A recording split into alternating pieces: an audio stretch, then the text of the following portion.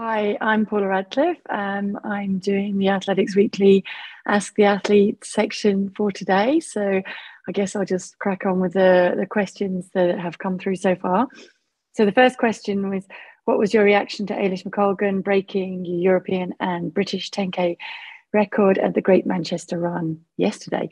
Um, so um, I think it was such an exciting race um, coming in to the race, I'd watched Eilish run in the London 10K and miss it by a couple of seconds there. So I think everybody knew that it was within her capabilities and uh, the way that the race panned out, it went off extremely fast and Eilish ran very smartly from the beginning in terms of just sitting back off the, the front of the pace, but maintaining enough contact there to close down at the end. And I'm not sure if she believed that she could catch Obiri, um, but she certainly believed after the race that she was capable of doing so. So I think in the closing stages, I kind of forgot about the time um, and really just focused on, on whether she could catch Obiri because she was closing so quickly and essentially, I guess, just ran out of road there. And it was what about four or five seconds at the end. And um, I think she was shooting for both. Um, so she was very aware that she was so close to the time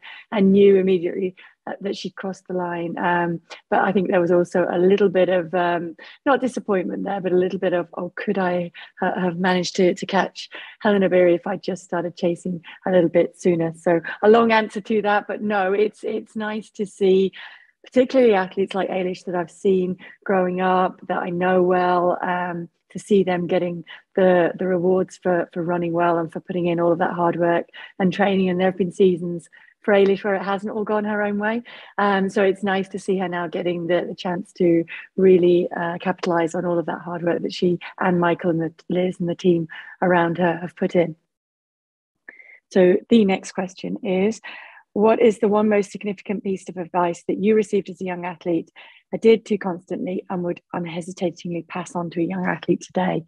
Well, wow, there's a lot of advice there. I think the biggest one would be um, from my coach to to set goals, to pick goals, and to have dream goals and realistic goals, um, and to write them down in my training diary at the beginning of the year um, so, kind of New Year's Day, I would write down the realistic goals and the dream goals for that year. And then some of them would end up rolling over for, forever in terms of dream goals. Some realistic ones would get ticked off fairly quickly. Uh, and when you achieve a, a dream goal, there's no better feeling than just really enjoying that moment and then building on it to, to create the next goal. So, I think it's essentially just all about stretching ourselves. And I'm really glad that I got that advice uh, as a youngster to to aim high because there's no such thing as failure when you're really aiming high because you in failing will still achieve things that you would never have achieved if you didn't set out to achieve those lofty goals. So i think that was the really important advice that i was given as a youngster. Um, what age did you start running and how was it initially? Well, my answer to this is usually that I can't remember a time when I wasn't running. Uh, I was always running around. Um, I love the feeling that I got from from running, from running quickly, particularly on the beach or, or through trees in the forest. I absolutely loved that as a kid. Um, there weren't that many different sports options available to me then growing up in the late 70s, early 80s.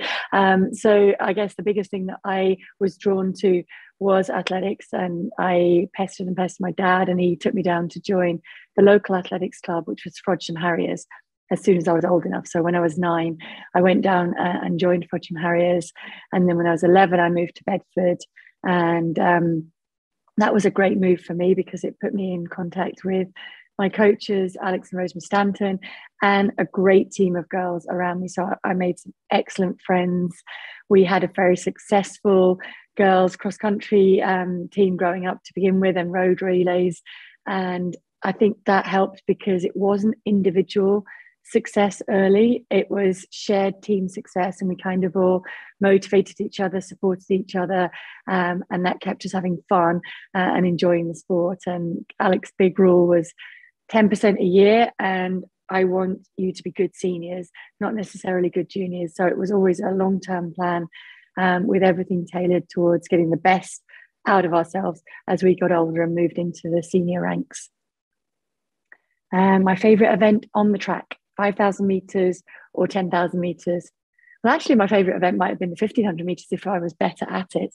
Um, I loved the 3000 meters as well. Um, and to pick between the five and the 10, I mean, I probably would go for the 10 um, because I had slightly more success over the, the 10,000 meters um, and I was better suited to it. I think certainly psychologically, the downside being that with the 10,000 meters, you can't race them as often as you can the 5,000 meters. And I loved racing on the track. And it was one of the things that I found hard when I moved to the road in the marathon. Um, that I wasn't able to race as often as I had been able to on the track. So I guess that's a long winded way of saying I like them all. Um, and had I been better at the ones where you could race a lot more often, I probably would have loved those too. But yeah, the 10,000 meters because it was the event that I was stronger at. Um, I won. Uh, European title at it. I had the European record um, on the track, and so that was important to, to me to get that from uh, Ingrid Kristiansen, who had been such a big uh, idol of mine growing up and had really given me a lot of advice um, moving towards the marathon, but also uh, a huge inspiration on the 10,000 meters. So to, to get that record on a rainy night in Munich um, was very special to me. So yeah, I would pick the 10,000. Uh, next question. Which current female marathon runner would you most like to have raced and why? Um, well, I guess the easy answer to that is I would like to race Brigid Kosgei um, in the shape that I was in when I ran 215 and that she was in when she she ran the, the 214 um, and just to see how good a race that could have been but that's kind of pie in the sky. Realistically it obviously can't happen um, but yeah I would like to, to be able to do that. Uh, what was your toughest session in a build up to a marathon um, again, that's a good question because I think it was more tough weeks that, that came together. Um, but I, I, used to do a kind of long fartlek session on the track with alternating 400, 300, 200, 100 um, and bits of marathon pace thrown in there as well. And that was a tough session, but it was also a huge confidence boosting session when it went well, moving in uh, to the marathon. So it was something that I used there. The long run was also a, a key tough session for me, um, and my long tempo, which would have been about around about 10 miles. Uh, next question. How do you think uh, Letesenbet Gidey will do in her debut marathon in December? I think she has the potential to run extremely quickly uh, and certainly threaten Brigid Kosgei's world record. I, I, think how fast she has run over the half marathon and her speed up from the 10,000 meters and 5,000 meters, even 3,000 meters, will really stand her in good stead. So, I mean, I could see her easily with the capabilities of taking, I dare say, two or three minutes almost off um, Brigid Kosgei's world record. So I think whether she'll do that in her first outing or whether she will get to know the marathon um, a bit more first um, remains to be seen. But I, I think she has the potential to really take that record into into unknown territory. Um, what time do you think you might have run in the super shoes? well, that's a good question and one that I would love to know, but sadly, we'll never really get the answer to. And I guess I can broaden that a little bit and talk about um, what I think the shoes bring. And I, I do think that the shoes do a huge amount in terms of safeguarding the health of runners um, and enabling them to to do a lot harder training, to race a lot harder, and to recover much more quickly. So, in terms of lessening the injury risk and allowing legs to just bounce back more quickly from hard training and from hard racing, I think that is the big advantage. I also think they have somewhat changed the landscape of um, marathon racing in terms of that part of the skill used to be holding it together, holding your body together, and holding your form together over the last 10, 12 kilometers. So once you'd gone through 30 kilometers in a marathon, um,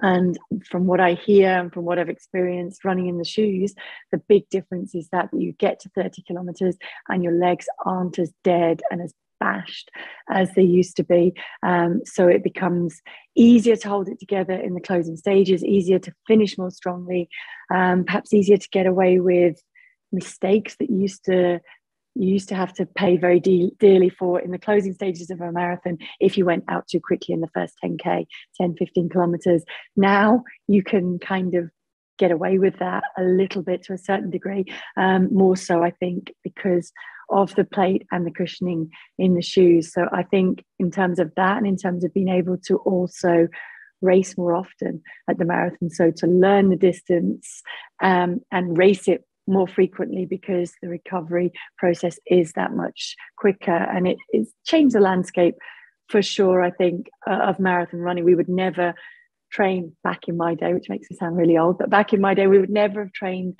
in the shoes for long runs that we would race in um, and now i think it's absolutely something that a lot of the athletes do because they are the shoes that enable them to to train very efficiently and also to recover well as i've spoken about for the next session. Um, so those are, I think, the big differences. And yeah, I would love there to be some kind of algorithm or something where we could put in all of your, your running economy, your stats, and um, VO2 max, and see what you could run in the shoes. Um, I don't think that I'll ever be able to know that. Um, I think I probably could have run a bit quicker. Um, but what, the one thing that I am very grateful for now is that the shoes help me to be able to still enjoy running on a daily basis um, because of the progression in shoe technology. So that's why overall I'm a big supporter of it, even though possibly it cost me a few records. Um, biggest regret as an athlete or more broadly? I try not to have regrets. I try to, obviously, we all make mistakes, we have disasters, um, certainly um, career wise in racing.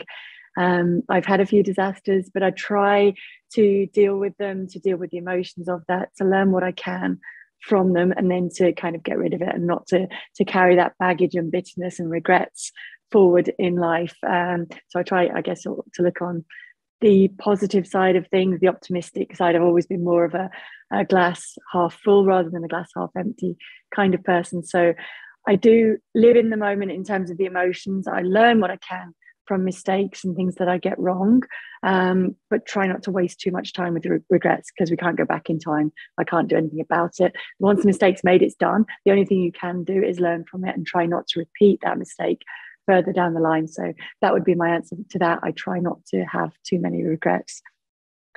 Um, how does your broadcast career and roles in organizing events compare to your career as an athlete? Um, some things are very similar uh, and some things are very different. So I think one thing that I love is that it is something that the more prepared you are, you can do a better job. It's also broadcasting is also still something like racing in terms of if you can tune into your instincts and go with those sometimes it serves you well sometimes it goes completely wrong um, but sometimes it, it, can serve you well as well so i like the kind of pressure. Um, you have to react under pressure. You have to make decisions quickly and go with those. This in the same way that I did do when I was racing. Um, so I kind of like that adrenaline buzz that I can still get from the broadcasting side of it. And if you can't be out there in the arena competing, then I really do feel that broadcasting is kind of a privilege um, and the next best place that you can be in terms of the best seat to watch that and to try and convey it as well as possible. Um, I certainly am not anywhere near as good in broadcasting as I was racing, uh, and that's a work in progress. But I also like that element of it that it's um, it's a skill that you need to to work hard on, and you doesn't just come easily straight away. It's something that you have to work at uh, and work together with a team in the same way that I worked with a team when I was racing and training.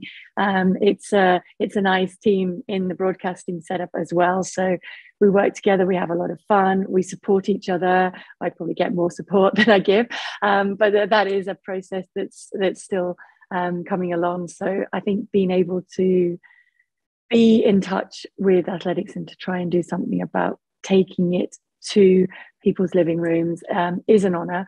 Um, it is a great sport. It's a sport that I absolutely loved being a part of, and I still love being a part of. So, a spillover from that, from the broadcasting side of it, is trying to, I guess, encourage as many youngsters, as many kids, as many people of all ages, just to to get involved in running, to get involved in, in athletics, and to follow it, and to become a fan of it, and to become a fan of what it can bring to you as well in terms of so many things uh, self confidence, knowing more about your body, working together with a team, um, and just getting more out of yourself in life in general. And then, so I think there are so many great things um, about running and about athletics. And to have still a role in passing that on to other people and to still be able to enjoy those great things myself is something that I'm very, very grateful for. Um, who do you believe out of the current crop of excellent British female marathon runners will break the two hours 20 barrier? I think there are probably several that have the potential. I think the one that stands out at the moment perhaps isn't yet even racing over the marathon, um, but I absolutely believe that Eilish, with the half marathon um, speed that she's shown, with the 10k speed that she showed over the weekend, um, and the fact that she's certainly still growing and learning about racing on the road, has the potential to to go under two minutes, uh, two two hours 20 by quite a long way. Not two minutes, of course. That was um, a bit of a Freudian slip there. She might do two minutes over 800, but um, I think she would be more focused on, on breaking 220 uh, over the marathon distance um, and then taking with her um, some of the other girls as, as well. So I think that is um, what's exciting is we have uh, a group of athletes. Um, Charlotte Purdue ran first, Jess Piasecki came and ran quicker than her. Uh, and they're kind of keying off each other and inspiring each other. They get on very well. Uh, and I know that one good performance then inspires another to work well. And maybe by training together as well, they can help each other to, to break through that barrier.